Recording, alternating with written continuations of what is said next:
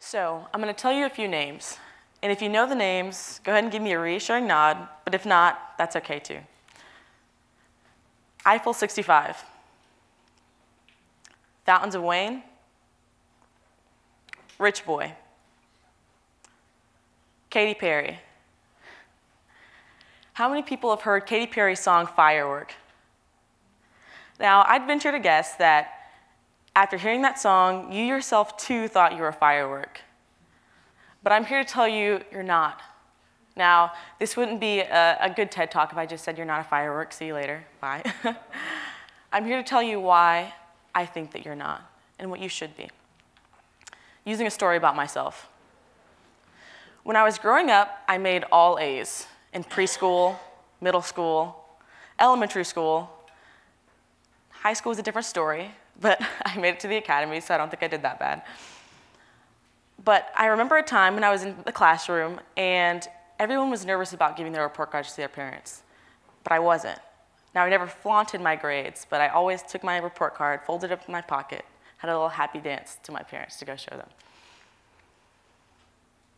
So I never failed until I got to West Point. Fast forward to my plebe year, my freshman year at the academy, and I was tasked with writing my first ever college research paper in Russian history. what a task. So I went to the library, I spoke to amazing librarians, I got books just to say I got books. but by the end of it, I found myself without a paper, without a thesis, and with barely even an outline. The day the paper was due. So, naturally, I went to the deepest, darkest parts of the history department, sat down in the hallway, and cried. It was one of my first emotional breakdowns here at West Point. While I was crying, an instructor walked by and he looked down at me and he said, Are you okay? Do you need any help? And I said, No, sir, I'm fine. Go away, please. Don't look at me. And he started to walk away. And I reached out and I said, No, sir, I need help. I do need help. Thank you, please. So he proceeded to sit next to me. And that night, we created a thesis. I wrote a paper. And it wasn't that good. but it, I wrote it. And if I ever see that instructor again, I definitely hide. I don't want to see him. It was an embarrassing experience, but he definitely helped me out. So, but I thought back to that moment. Why did it feel like I failed? Why did it feel like I couldn't move forward in this situation? With a little bit of self-reflection, I figured it out. Now, bear with me here. I'd like to, you to think back to your chemistry days. So if you can remember, there's something called a heating curve and I'll show you a little, what it looks like. So on the y-axis, you have temperature. And on the x-axis, you have time. Heating curves depict the behavior of molecules when they're changing different phases. In this case, it's the most easiest to look at water. So we'll talk about water, or H2O. Sorry, I'm left-handed. So water is ice at a specific temperature, zero. And as the ice melts and the temperature rises, time goes by, you can see a steady increase in the graph. This is where life is awesome.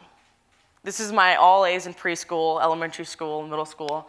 This is you getting that job promotion. This is you reaching that PR in the gym. But after a certain period, water reaches a temperature it turns into liquid completely and it stays the same temperature for a little bit. This is where life sucks. You don't feel like you're moving forward. You can't see the light at the end of the tunnel. And you're stuck in the gym lifting weights and nothing's happening.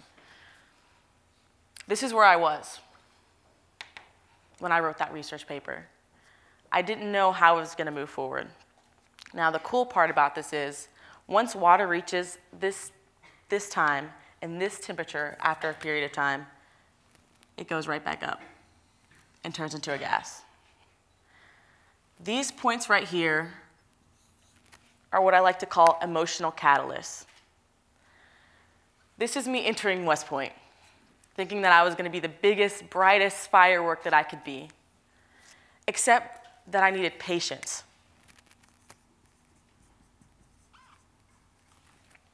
The instructor who sat down next to me, he was the guidance that I needed.